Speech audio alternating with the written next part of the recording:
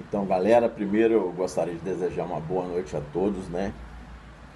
E passando mais uma vez, para poder lembrar né, as pessoas de Muriaé, que amanhã, quarta-feira, é dia de doação de sangue, ali no Passe, ao lado do Hospital São Paulo, é, no antigo Viva Vida, o horário de funcionamento lá de 7h30 da manhã até as 15 horas nos últimos tempos, o estoque de sangue de Minas Gerais, não só de Muriaé, tem estado no limite, né?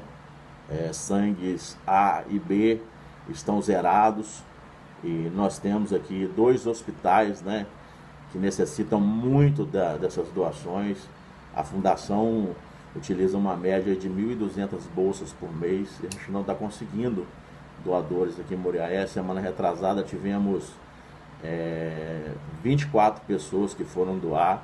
Essa semana, graças, semana passada, graças à divulgação de vocês, a campanha que vocês fizeram, de nos ajudarem, de compartilhar né, é, o, a, o vídeo, compartilhar é, a arte que, né, que nós desenvolvemos, foi um sucesso.